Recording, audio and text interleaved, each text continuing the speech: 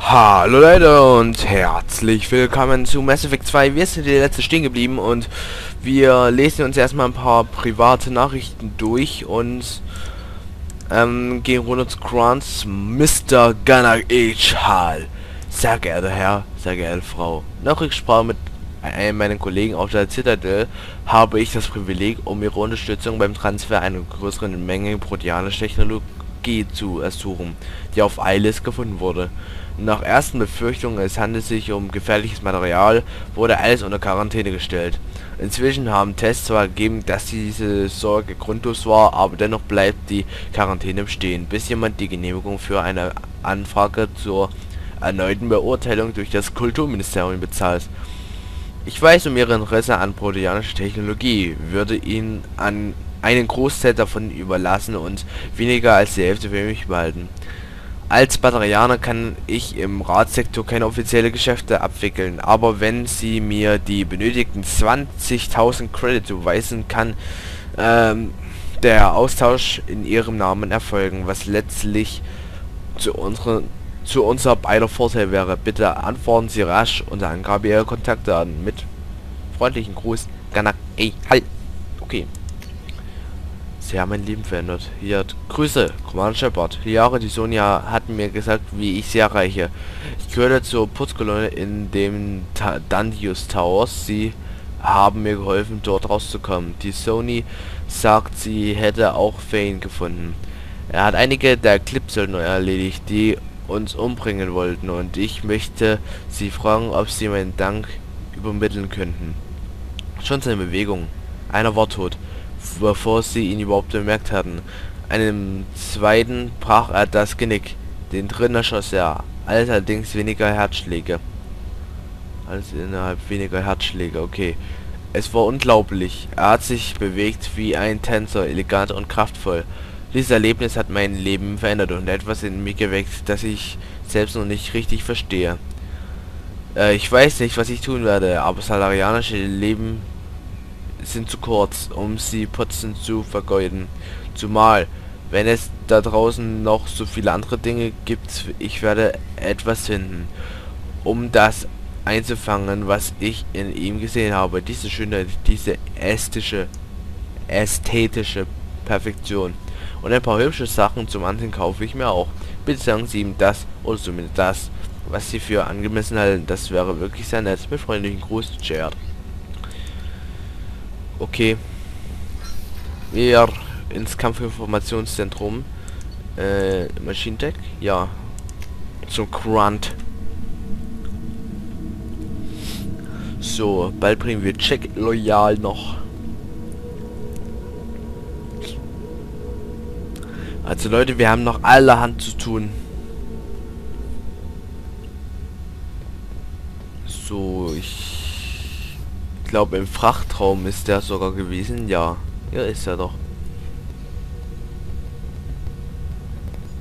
Chambers sagt, sie würden alles zerlegen. Ist das nicht in Ordnung? Irgendetwas stimmt nicht, Shepard. Mit mir. Ich bin so angespannt. Ich will unbedingt etwas töten mit bloßen Händen. Mehr als normal, so als hätte ich überhaupt keine Wahl. Als wollte ich... Ach, ich weiß auch nicht. Sehen Sie, warum mache ich das? Was stimmt nicht mit mir? Aukir hat Ihnen nichts vermittelt, das Ihnen jetzt helfen kann? Ich sehe Bilder von alten Schlachten und höre die Stimmen der Warlords. Aber das ist ein Blutschleier in meinem Kopf. Ich will Kontrolle. Wenn wir in Bewegung sind und kämpfen, kann ich mich konzentrieren. Aber hier schreit mein Blut, meine Platten jucken und selbst sie sind nur störender Lärm. Ich bin eine Tankgeburt. Was ist das? ED, haben Sie Informationen über Kroganer-Krankheiten, die so etwas hervorrufen könnten? Cerberus hat einige Autopsieberichte im Archiv, aber nichts über einen lebenden Kroganer dieses Alters und in diesem Zustand. Kroganer gewähren nur selten Einblick in ihre medizinischen Aufzeichnungen. Mein Volk wurde von Ärzten in Laboren besiegt. Sie würden nie zulassen, dass derartige Informationen unsere Heimatwelt Tuchanka verlassen.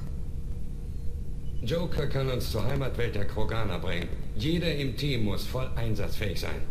Danke, Shepard. Mir gefällt das auch nicht. Wut ist für mich ein Mittel der Wahl, keine Krankheit. Okay, wahrscheinlich das ist eine Loyalitätsmission bestimmt. Und da haben wir schon wieder eine Loyalitätsmission. Kaum werden wir fertig, bekommen wir tausende von Loyalitätsmissionen. Wir sind noch nicht mal auf äh, Ilium fertig. Aber das machen wir jetzt noch schnell und dann die nächsten Parts Ressourcen suchen. Und dann die Loyalitätsmission langsam abarbeiten. So, sonst noch was? Kelly? Nein. Gut, Treibstoffdepot. Ach, hier ist unser Schiff. Okay, brauchen wir nicht. Wir fliegen nach Ilium Liare Insel übergeben. Landen, landen, landen. Moment, ich muss mich hier mal schnell...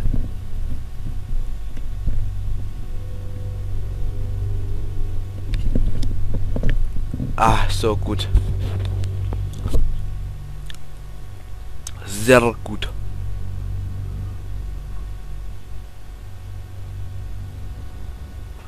Ähm... Samara werfen, ziehen, aufspalten, Maschinenpistolen, Sturmgewehre. Auf jeden Fall mal einen Grunt mitnehmen. Wie sieht's mit dem aus? Der ist noch normal. Also loyal auf jeden Fall. Loyal. Und loyal. Mehr haben wir nicht.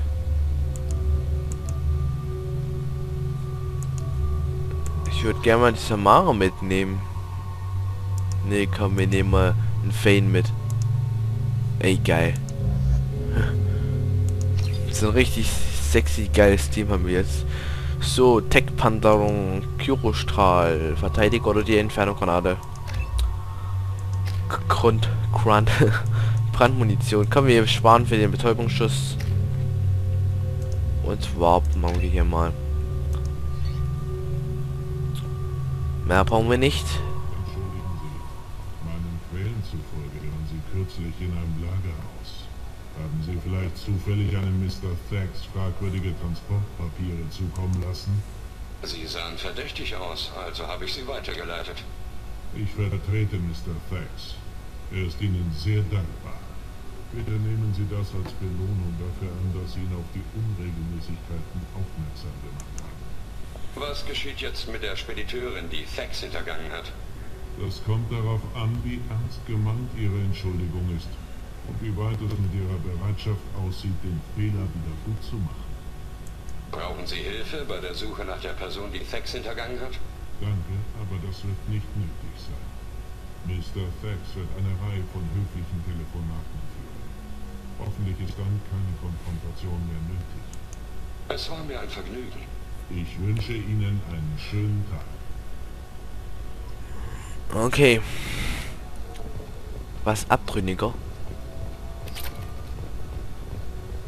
1500 Credits, auch sehr schön. So, und jetzt habe ich noch keine Ahnung, was wir hier für die Jahre machen müssen. Oh, Ankunft.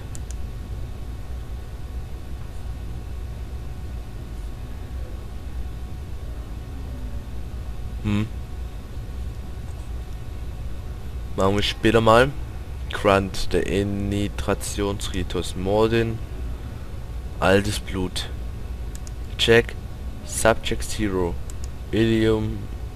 Das, äh, Liare, Systeme hacken. Jacob. Also das sind jetzt alles die Loyalitätsmissionen, wo Namen davor stehen. Und erstmal nach Ilium. Hier an den Sicherheitsknoten hängen. Sicherheitsterminals lokalisieren und hacken. Dann äh, die empfindlichen Daten in der Nähe finden und zu Liara uploaden. Hm, was geuploadet haben wir doch vorhin schon, wenn ich mich nicht irre. Hey, Moment mal, mit Fane reden. 25! Bei 25 verkaufen! Nein, nein, Sie hören mir nicht zu. Ich will kaufen. Kaufen Sie alles auf.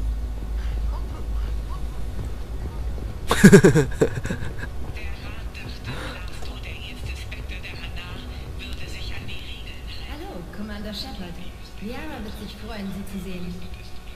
Wir reden später weiter. Natürlich, Commander. Okay.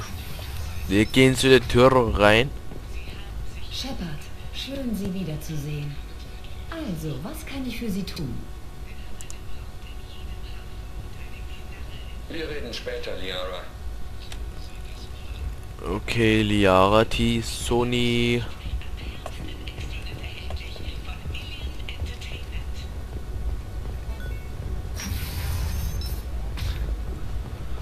Sicherheitsterminals, ich habe selbst noch keine Ahnung, wo wir überhaupt hin müssen, so richtig.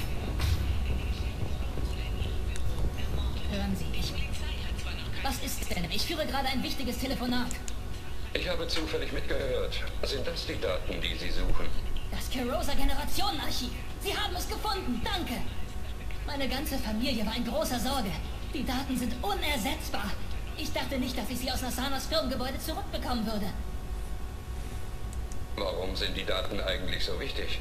Es ist die genetische Chronik der gesamten Kerosa-Familie. Sie dient zu Fortpflanzungsverhandlungen auf höchster Ebene. Sowas wie bei Menschen eine Ahnentafel, vermute ich. Ohne ist die Verhandlungsposition ziemlich schwach. Der Verlust hätte meiner Familie über Generationen geschadet, ja sie vielleicht sogar zerstört. Wenn die Daten so wichtig sind, warum haben Sie dann keine Backups?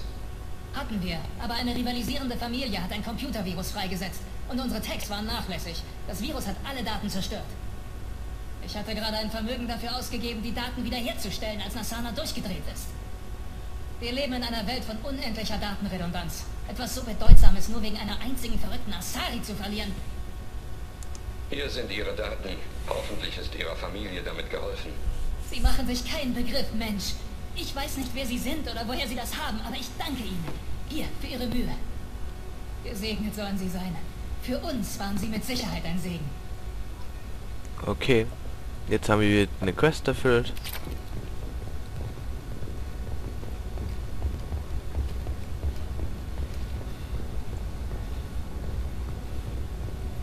Entschuldigung, können Sie mir sagen, wo ich Serena finde? Sie ist nicht mehr hier. Oh, Ihnen hat sie doch geholfen, nicht wahr? Sie hat einen Außenweltjob angenommen. Wo hat sie nicht gesagt? Sie hat mir etwas für Sie gegeben. Ist wohl eine Nachricht oder so. Ich höre es mir später an. Ja, klar. Man sieht sich.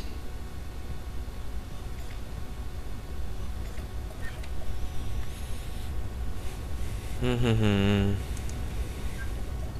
Hey, Shepard. Ich war gerade unterwegs zu einem neuen Leben, als die Nachricht kam. Das Miststück ist tot. Das heißt dann wohl, dass Ihr Freund lebt und seinen Job zu Ende gebracht hat. Sagen Sie ihm, wenn ich ihn jemals treffe, gebe ich ihm einen aus. Viel Glück. Nice Sache. So.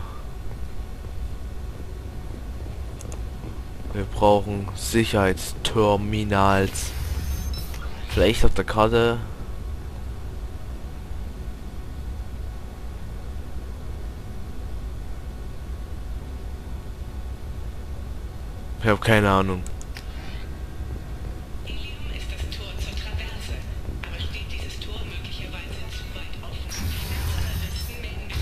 dass Ein neue Beispiel. Du kennst doch diese neue Droge, die bleibende neurale Narben. So weiß in der Mitte. Hier. Fertigen Vertrag und dann noch eine Vertriebserklärung für den Gebrauch. Aber verdammt. 60 Stunden plus Überstunden dafür berechnet. Codesegment. Ne, Code-Hack beendet.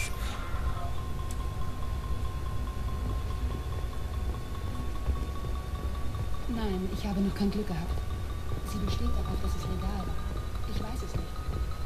Ich werde einen Gefallen einfordern und einen Freund in der Rat durchsetzen. Ja, und jetzt? Willkommen bei Barrier Frontiers. Unser Verkaufskiosk steht da drüben. Sternkarte. Cool.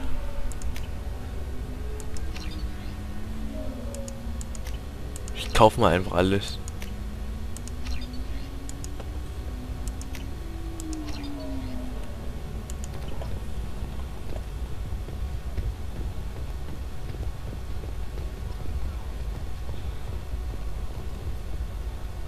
Schiale, was ist denn das? Ich... Sie erinnern sich bestimmt nicht an mich. Ich bin Shiala. Wir haben uns während des Geth-Angriffs auf Feros getroffen. Saren hatte mich dem Torianer als Sklavin übergeben. Und Sie haben ihn getötet. Und mich gerettet. Ich habe versprochen, Zeus Hope beim Wiederaufbau zu helfen. Und deshalb bin ich jetzt auch hier auf Ilium. Wie geht es, Zeus Hope? Wir haben vieles wieder aufgebaut und konnten sogar verwertbares Material von dem Geth-Schiff bergen, das sie zerstört haben. Aber die Forscher von Exogeny wurden wieder in ihr Hauptquartier zurückgerufen. Und die Reste des Torianers haben sie mitgenommen. Kommandiert Exogene wieder die Kolonisten herum oder hat der Torianer unseren Kampf irgendwie überlebt? Nein, Exogeny unterstützt Zeus Hope sogar. Sie wollen uns offenbar wirklich dabei helfen zu überleben. Und der Torianer ist tot. Wobei ich nach allem, was sie auf sich genommen haben, um ihn zu töten, ihre Sorge durchaus verstehe. Ich fürchte, nach unserem Abenteuer auf Ferus kommt ihnen meine Aufgabe auf Ilium sicher vergleichsweise banal vor.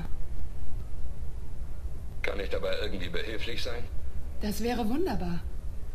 Ich bin an die Grenzen meiner diplomatischen Fähigkeiten gestoßen und würde ungern Ärger verursachen. Durch die Kontrolle durch den Torianer hatten einige Kolonisten Gesundheitsprobleme. Wir haben eine koloniale Forschungsgruppe engagiert, um medizinische Scans durchzuführen. Aber der Vertrag erlaubt der Firma anscheinend, ohne unsere Zustimmung Eingriffe vorzunehmen. Deshalb bin ich hier. Moment mal, Shiala. Sie waren doch nur grün, als der Torianer einen Klon aus Ihnen gemacht hat. Ihr wahres Ich war blau, wie normale Asari. Ich sprach von Gesundheitsproblemen durch die Kontrolle des Torianers. Erinnern Sie sich? Das ist meins. Einige Monate nach dem Tod des Torianers veränderte sich die Pigmentierung meiner Haut. Und meine biotischen Fähigkeiten sind auch instabil. Außerdem habe ich intensive Träume über meine Zeit bei dem Torianer. Das alles ist beunruhigend. Erzählen Sie mir mehr über den Vertrag, den Sie wegen der Scans unterschrieben haben. Aria von Tiers zeigte Interesse an unserem Problem. Sie haben angeboten, medizinische Scans und die nötige Behandlung fast ohne Bezahlung durchzuführen. Ich hätte wissen müssen, dass es zu schön war, um wahr zu sein, aber wir waren verzweifelt. Im Kleingedruckten haben wir uns anscheinend damit einverstanden erklärt, dass sie weitere Eingriffe durchführen dürfen, wenn sie es für angebracht halten. Und so kam es dann auch. Können die Ihnen diese Eingriffe wirklich aufzwingen? Nein, aber sie können uns wegen Vertragsbruch anklagen. Was bedeutet, dass wir den vollen Preis bezahlen müssen, den ihre Leistung normalerweise gekostet hätte. Zeus Hope kommt gerade langsam wieder auf die Füße. Wir können uns das unmöglich leisten, Shepard. Was für Gesundheitsprobleme hatten die Kolonisten denn?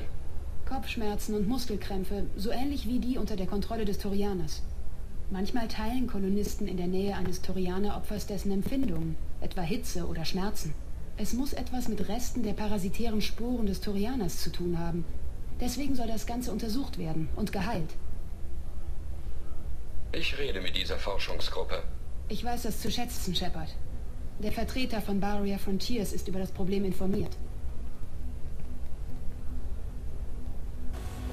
Kann es sein, dass die gerade verbuggt war? Die hat sich irgendwie immer so komisch umgedreht und so.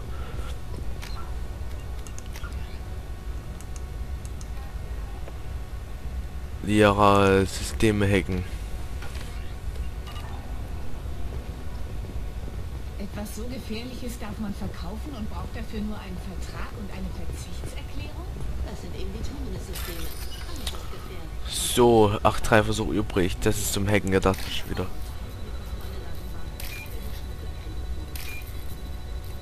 Weiß ganz oben, dann kommt in der Mitte irgendwas Blauiges. Oh.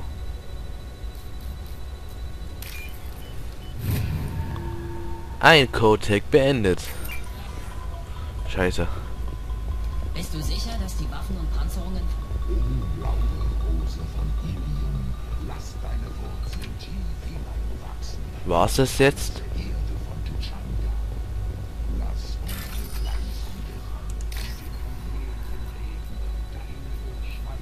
Grün und lila. Grün.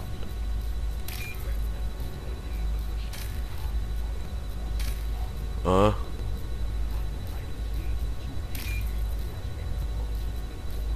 Blau.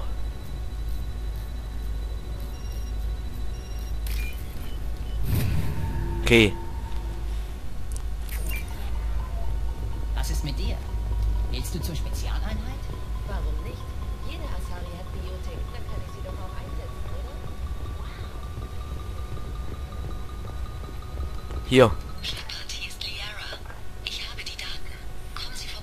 Weiß nicht. Ich finde es immer noch schrecklich, dass so etwas legal Okay, das war ziemlich einfach. Alle Gefahren stehen klar und deutlich.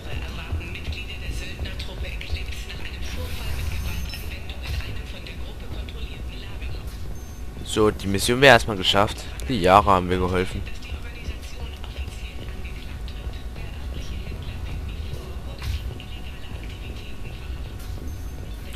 So, wir gehen erstmal zu Liara und dann schauen wir mal nach. Äh, geht's hier lang? Äh, nein, hier geht's lang.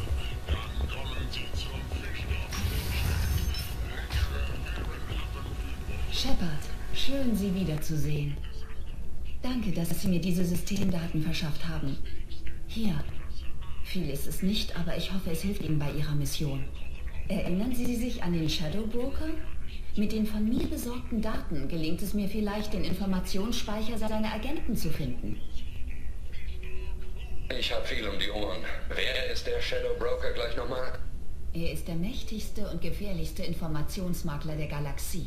Niemand weiß, wer er ist. Angesichts seiner Ressourcen gibt es Spekulationen, dass es sich in Wahrheit um eine Gruppe handelt, die unter einem gemeinsamen Namen operiert.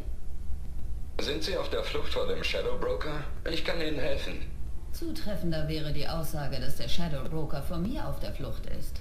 Unsere Wege haben sich kurz nach ihrem Tod gekreuzt. Seitdem arbeite ich daran, ihn auszuschalten. Mit diesen Daten bin ich dem Ziel einen Schritt näher gekommen. Sie können nicht mit mir kommen, weil Sie hinter dem Shadow Broker her sind? Was wäre, wenn ich Ihnen helfe, ihn zu finden? Tut mir leid, Shepard.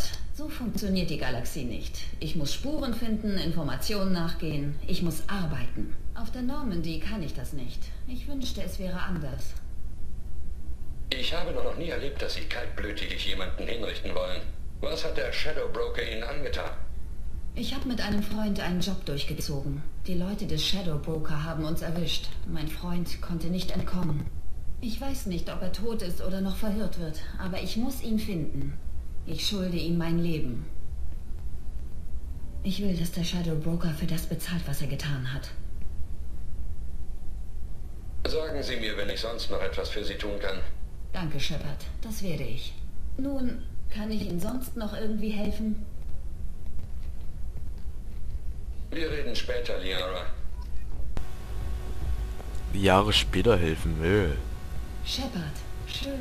Also, was kann ich für Sie tun? Wie läuft's bei Ihnen so? Die Daten, die Sie mir gegeben haben, waren sehr hilfreich. Jetzt habe ich ein Ziel. Der Shadow Broker hat mehrere Kontakte hier auf Ilium. Der mächtigste von ihnen trägt den Namen Beobachter. Wenn ich den Beobachter aus dem Spiel nehme, bringt mich das dem Shadow Broker näher. Ich könnte Ihre Hilfe brauchen. Sagen Sie mir, was ich tun soll. Ihre Daten haben mich zu Logs von Agenten des Shadow Brokers geführt. Sie wurden zwar gelöscht, aber vielleicht kann man Teile davon rekonstruieren.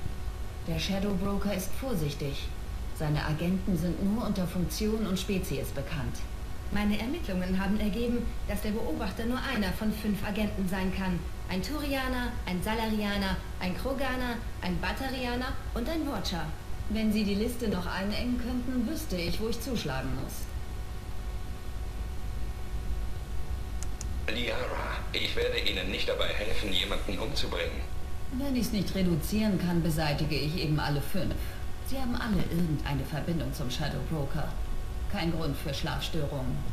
Wie auch immer, es ist nicht sicher, das weiter mit Ihnen zu diskutieren. Wenn Sie Kontakt aufnehmen wollen, funken Sie mich auf unserer alten Frequenz an.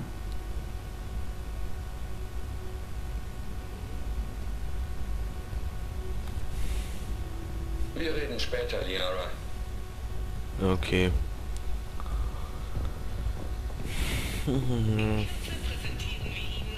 Plus zwei Vorbild. 2000 Credits und ich gehe erstmal hier zu Normandy. Was?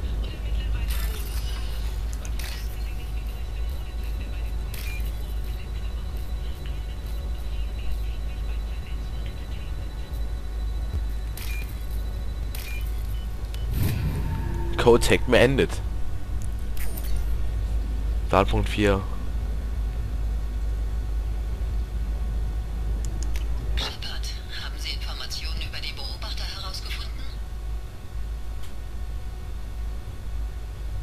Schalten Sie den Turianer aus. Danke, Shepard. Ich werde es veranlassen. Meine